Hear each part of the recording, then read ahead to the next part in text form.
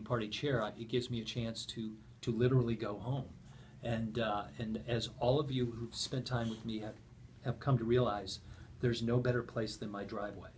And, and I don't long for um, uh, the restaurants and the life of Columbus. Uh, I'm, I'm from Catawba Island, Port Clinton area, and I love Lake Erie, and I'm looking forward to, to doing all I can to, to make our area stronger, whether as a small business person or as a political. And what do you think about the fact that the person who was elected to replace you was under indictment? Elections have consequences. It's no different than, than what we learned today, that Richard Ross directed the Department of Education to tie religious affiliations with public money to make mentoring grants available.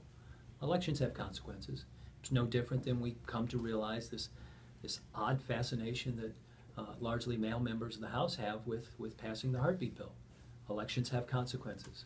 What, what we did in 2007, 2006, 2007, 2008, uh, recruiting the right candidate for the district first, and then supporting those candidates, you can win those districts. We won a majority of, of the House. Speaker Budish became Speaker because the work that Joyce Beatty, myself, and others had done with their map. It tells you that Ohio is not a strong red state. It, it is a trending Democratic state, and when the lines are drawn fairly, we win. But if, but if wave elections occur, which happened in Ottawa County, and, and a, a two, a, a three times indicted for felonies is elected to the state house in a narrow election,